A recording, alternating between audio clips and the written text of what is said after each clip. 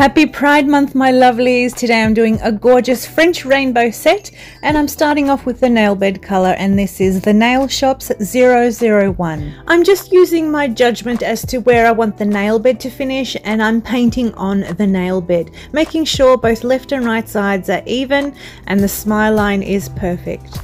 I'm going to cure the first coat of the nail beds and then I'm going to apply a second coat to make sure the color is nice and opaque because this one is a little on the trans transparent side and cure the second coat as well and then I can move on to the rainbow part. So the first colour in the beautiful rainbow is Madam Glam's Cherry Party. I'm also using Blood Orange. The yellow is from Born Pretty and it's code BP73. The green is Neon Lime Green, the blue Electric Blue, and the purple dark magenta. Now before I actually start the ombre I'm going to use the color straight from the gel bottle and paint red on the left side and orange on the right side of this particular nail.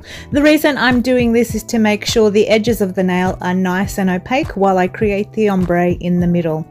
So on a brush I am dipping one side into red and the other side into the orange and on my palette I'm just brushing it up and down up until I get the ombre that I want and then I paint it down the center of the nail and that unites both sides of the yellow uh, sorry of the red and the orange. So we have this beautiful ombre of red through to orange down the center of the nail.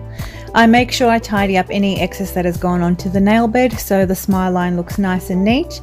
And then I'm going to give it a full cure and move on to ombre the rest of the nails. Next up in the rainbow that is going to be ombre is the orange and yellow. Then after that the yellow and green and then moving on to the green and blue and finally the blue and purple. I'm going to fully cure this in my LED light and then I'm going to start adding the white part to this design. With some regular white gel polish, I'm adding random blobs to my rainbow set. It doesn't really matter where you put it, just use your imagination and add some white to all the nails. Give that a full cure and then we can move on to the black part. With some black gel paint and a liner brush, I outlined the white blob and then I'm drawing random wavy lines within that black outline. And these lines are not even throughout the existence of the line. There are thick parts, there are thin parts, and I just create random lines. It, to me, in my head, it was like a psychedelic fingerprint showing how each person is individual and unique, and everybody deserves to be loved and accepted for who they are. And when people, in fact, come out and tell you who they are, we need to be a safe space for them and welcome them with loving, open, safe arms. So my psychedelic fingerprints are cured. I'm just adding no wipe top coat and I'm randomly placing placing some crystals.